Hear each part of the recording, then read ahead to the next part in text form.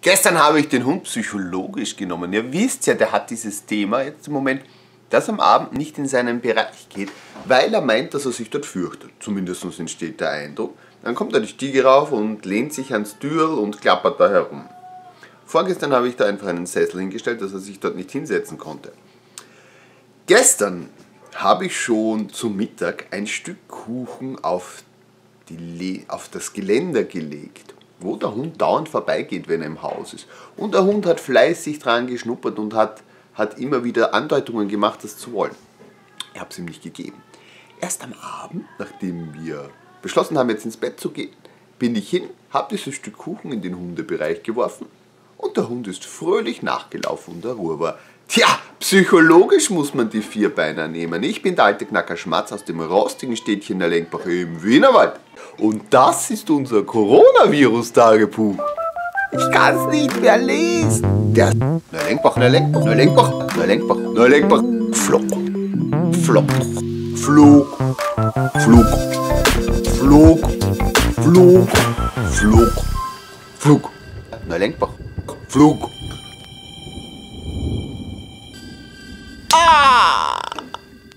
Heute hat ganz, ganz flamm meine Heute hat ganz klar meine Frau die Führung übernommen. Sie hat gesagt, aber jetzt schau mal, dass du deinen Allerwertesten hochbekommst. Und sie hat gesagt, ich koche. Und zwar hat sie gekochte Nudeln mit Unmengen Mangold, der sich praktisch ins Nichts, also unglaublich, urviel Mangold hat sie reingemacht, also allen, den wir hatten. Und es ist eine ganz kleine Spaghetti-Sauce rausgekommen die sicher total lecker ist und ich freue mich schon sehr drauf. Und jetzt stehe ich nochmal auf und mache die Badtüre zu, denn die Kinder schaffen das nicht nach dem Händewaschen die Tür zuzumachen, wenn die Waschmaschine läuft. So, nach zwei Portionen und nicht ganz 50.000 Kalorien mehr möchte ich euch rückmelden, dass meine Frau was anderes zu mir gesagt hat.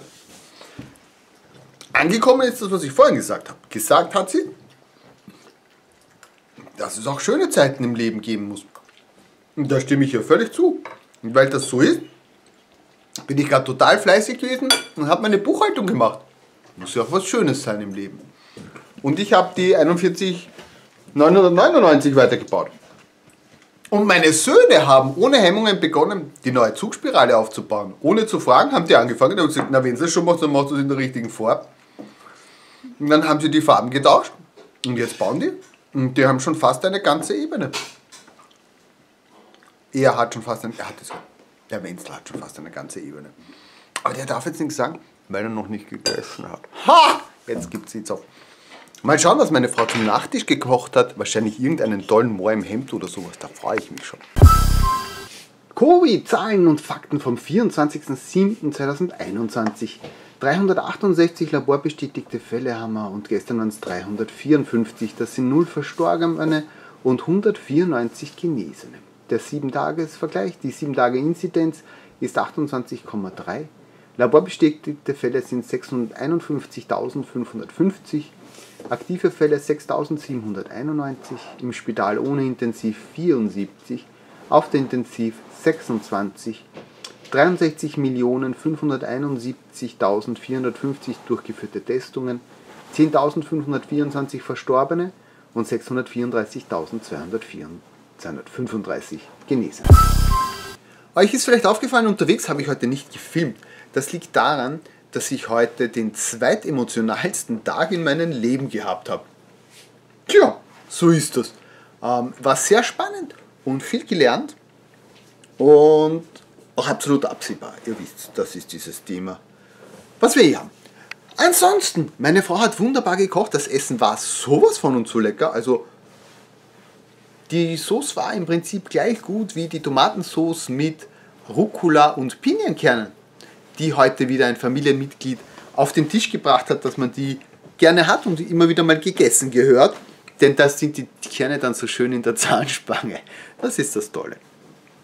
Ansonsten, ich habe die 41 ähm, 999 aufgebaut. Und in dem Moment, wo ich die Räder montieren wollte, bin ich drauf gekommen, dass ich ein Element, ein relevantes Element, oh, das ist dahinter meiner Frau, ähm, ein relevantes Element falsch eingebaut habe, am falschen Ende. Jetzt kann ich das Klumpert wieder zerlegen. Und glaubt mir, dieses Set ist nur teuer und nicht gut. Das sage ich jetzt mal so.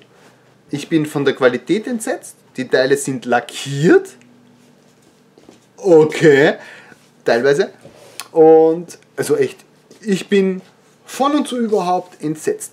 Es ist heute erfolgreich das nächste Kinderkram-Update online gegangen. Das seht ihr am Ende des Videos wieder zum Anklicken, wenn ihr das wollt.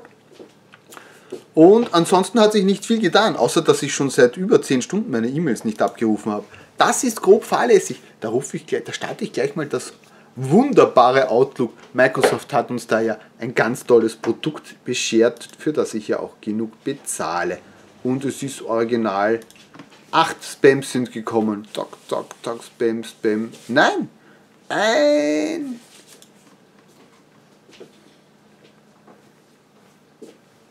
Oh, meine Mutter will das Rezept der Nachspeise haben. Meine Frau lächelt. Das ist schön. Das erste Mal, dass ich sie heute so herzhaft lachen sehe. Das ist toll. Ähm, das gefällt mir gut. Sie hat nicht gefragt, wo meine YouTube-Kanäle sind. Nein, sie hat nach den Rezepten meiner Frau gefragt. Agnes, wir rufen jetzt die Christa. Ja, der Hund, sie hat sich ja gestern so toll in den Kerker locken lassen und ich habe heute keinen Kuchen. Bin gespannt, ob das heute wieder irgendwie anders funktioniert. Vielleicht mit abgebissenen Zehennägeln oder so.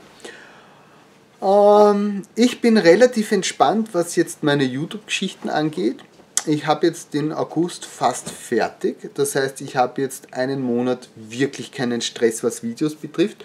Und wenn ich bedenke, dass jetzt so Kurzurlaube Urlaube anstehen, da kommt genug Material für die nächsten Wochen für den alten Knacker Schmatz. Ich werde die Qualität der Lego-Videos nochmal erhöhen mit mehr Zahlen und Fakten, habe ich beschlossen. Daran arbeite ich gerade oder habe begonnen zu arbeiten. Und ich habe begonnen, die alten Coronavirus-Tagebücher oder Lenkbach-Vlogs, wie sie heißen, bewusst anzuschauen. Und zwar ab dem Zeitpunkt, wo sie nicht indiziert sind, also wo keine Zeitmarken drunter stehen, wo man direkt zu gewissen Videopunkten springen kann. Und hol das nach. Das ist zeitaufwendig. Aber andererseits habe ich genug Zeit. Meine Frau hat Urlaub. Das heißt, sie kümmert sich jetzt um alles. Sie kümmert sich gerade um das Sofa, dass das heute gut duftet, wenn ich draufgehe, wenn ich frisch gepustet bin, geduscht bin. Und ja, dann werden wir ein bisschen Scherben zusammenglauben morgen in der Familie. Und werden mal schauen, wie die nächsten Wochen und Monate ablaufen. Es sind ganz tolle, spannende Dinge am Laufen, die leider jetzt nicht nur gut sind, aber toll und spannend. Und dann schauen wir, wie das Leben so weitergeht. Morgen kommt eine Sonntagspredigt, die ich noch nicht aufgezeichnet habe. Das sollte ich demnächst machen. Ähm, es wird gehen um die Pferde. Ja, um die Pferde meiner Frau wird es gehen. Das ist schön. Und für übernächste Woche hatte ich auch eine Sonntagspredigt und ich habe schon wieder vergessen, worum es geht. Ich hatte schon ein Thema und jetzt ist es weg. Das ist blöd. Ich bin nämlich so alt, dass ich alles vergesse. Wenn ich es nicht gleich aufschreibe, ist es schon vergessen.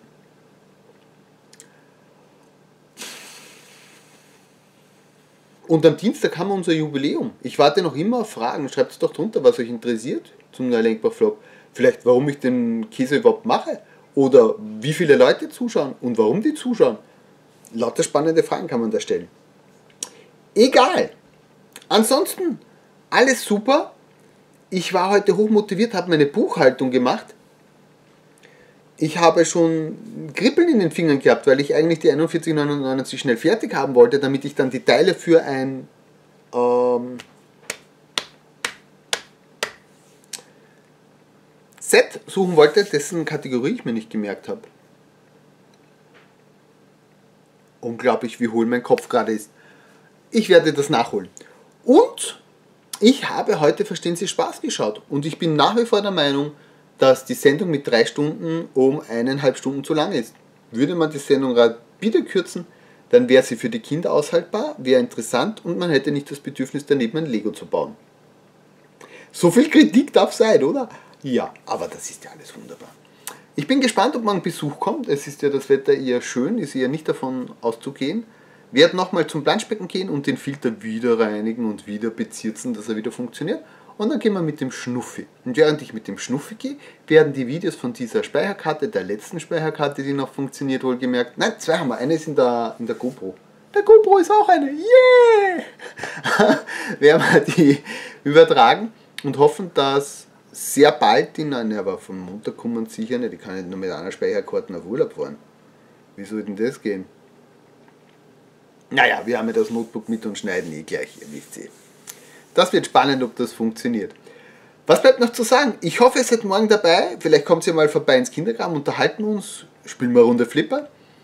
Und in diesem Sinne, bis später, bis dann, bis irgendwann hier auf diesem verrückten YouTube-Kanal.